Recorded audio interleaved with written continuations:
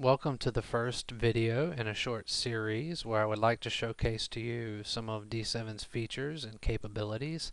Um, this particular one deals with malware removal, but I won't really go in depth with malware removal because this is a simple one. Um, for this particular demonstration, I've infected a virtual machine with your typical run-of-the-mill fraudulent antivirus software as you can see here. Um, what I would like to do before we proceed is just restart the computer. Um, I like to make sure that the Trojan uh, has all of its meat hooks into the operating system and we have a nice full infection to work with.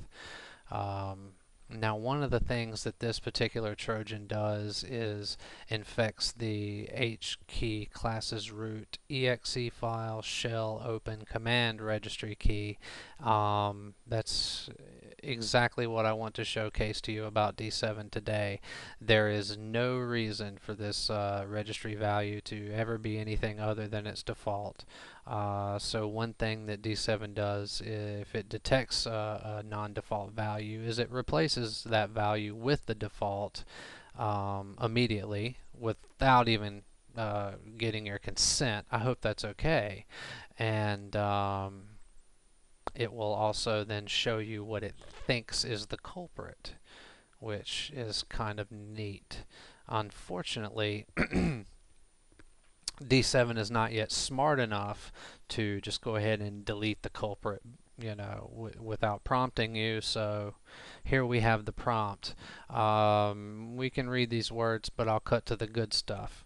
Um, this is the string in the registry this is the, the, the, the malware executable that we're after. Now this uh, string in the registry here actually is repeated twice. That's a bug. I've got to fix that. Sorry about it. Um, we've got a command line parameter here and we've got a couple of embedded nulls or something I need to strip out um, at the beginning of this particular text box. Once we delete these and we have a fully qualified path and file name to the malicious executable, the light turns green and D7 is ready to delete the file. So just click the button and we get an access denied of course because the file is obviously in a running state um, as you can see in the background. Just click OK. And D7 uh, is able to terminate that executable um, it's no longer in the running processes and um, see the shield disappears at the bottom now basically we're done um, that's all I wanted to showcase to you about this particular feature of D7. However, there are those of you out there I know who are saying that is not all that infection does, and you're absolutely correct. There is one more piece which I will take care of in malware scan. Um, this particular infection infects the start menu internet section. I'm not sure uh, if you're familiar with this, although I hope you are. Um, Local Machine Software Client, Start Menu Internet, iExplore.exe, or what have you, Chrome, uh, Firefox, what have you. Uh, shell open command. Um, the default value we know is supposed to be iExplore.exe, but uh, we have this malicious executable there instead. Now, unfortunately, here's another area of D7 where it is not smart enough to handle something without your help. So you need to highlight the value and click Open Reg Path. This will take you right to where you need to be.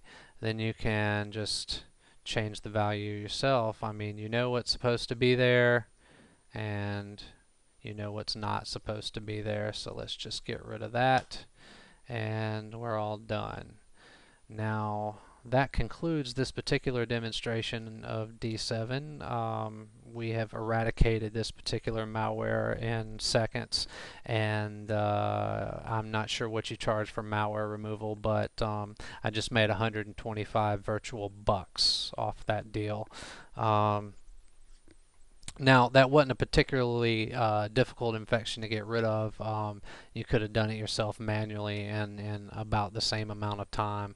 Um, I wouldn't say not quite. Um, D7 is a little faster at checking the registry than I am, at least. I'm not sure about you, but um, I hope you did enjoy that demonstration, and uh, I hope you'll stick around for a couple more. Thank you very much, and have a good evening.